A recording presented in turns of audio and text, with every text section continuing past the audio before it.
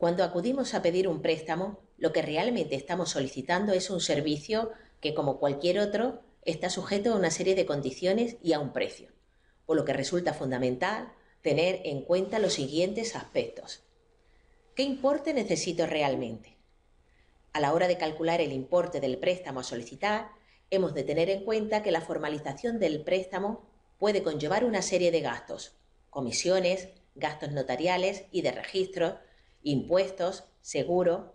Además, hemos de tener presente la carga impositiva y los gastos ligados al bien cuya compra se financia.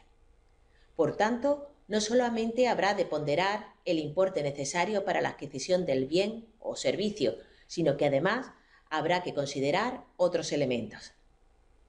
Asimismo, tendremos que considerar igualmente cuál es el importe del préstamo al que podemos aspirar. Habitualmente las entidades financieras, y en especial en el caso de concesión de préstamos hipotecarios, establecen determinados límites en el importe total que pueden prestar. Nos preguntamos también a qué plazo se debe formalizar una operación de préstamo. El plazo de un préstamo debe estar acorde con la finalidad del mismo.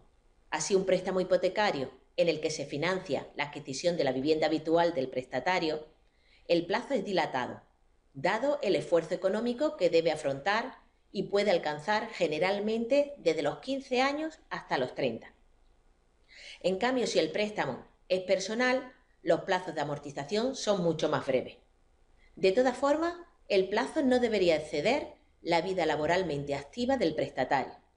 Es decir, por ejemplo, si al formalizar el préstamo el prestatario tiene 45 años, el plazo no debería superar los 20 años, para que a la llegada de la edad de jubilación el préstamo esté totalmente amortizado. La justificación de esta regla deriva de la presunción de que con la llegada de la jubilación los ingresos recurrentes sufren una merma sustancial, lo que podría dificultar que se atienda el pago de las cuotas de amortización.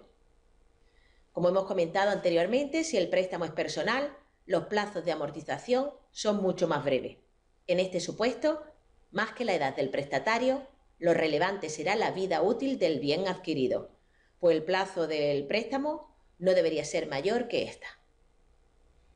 En cuanto a la forma de devolución del capital, la más común es la devolución a través de plazo, esto es, en cuantías periódicas.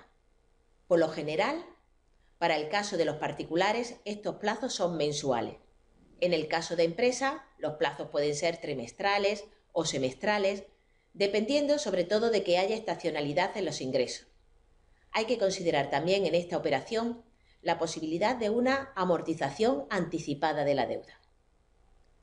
Uno de los aspectos más importantes a considerar hace referencia al tipo de interés aplicable ya que este es el precio a pagar por la financiación recibida.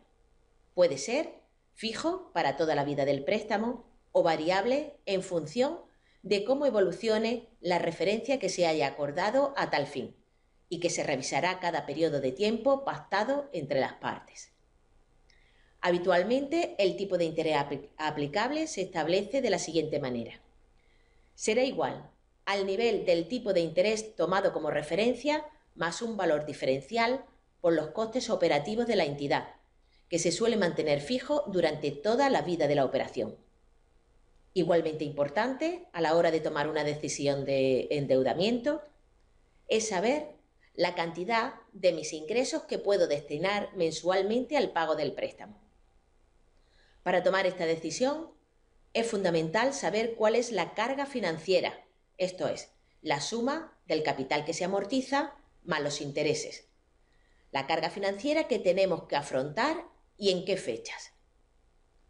Una persona tendrá capacidad para devolver un préstamo si con sus ingresos netos puede atender sus necesidades ordinarias de gasto, alimentación, gastos corrientes del hogar, desplazamiento y la carga financiera del préstamo.